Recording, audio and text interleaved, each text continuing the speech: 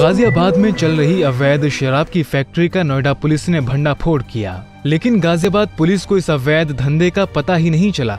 अवैध शराब की खेप की सूचना नोएडा पुलिस को काफ़ी समय से मिल रही थी। ज़िले के ट्रोनिका सिटी थाना क्षेत्र में चल रहे इस गोरख धंधे के माल की सप्लाई पूरे एनसीआर में की जाती थी।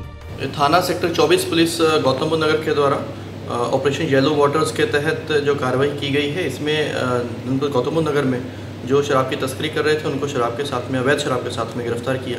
उसके बाद उनकी पूछताछ में जो तथ्य सामने आए, उसी की निशानदेही पे जनपद गाजियाबाद के ट्रोनिका सिटी थाना क्षेत्र में दबिश दी गई है, रेड की गई है, जिसमें कि भारी मात्रा में कई हज़ारों लीटर शराब बरामद हुई है और वहाँ पर नकली शराब बनाने के मैन्युफैक्चरिंग के सारे इक्विपमेंट और साथ साथ रैपर्स और अन्य सामान बरामद हुआ है। छापेमारी के दौरान आरोपी पुलिस को देखते ही भाग खड़े हुए।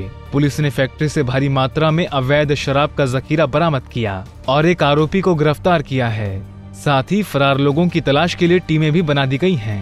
पंजाब केसरी टीवी के लिए गाजियाबाद से आकाश गर्ग की रिपोर्ट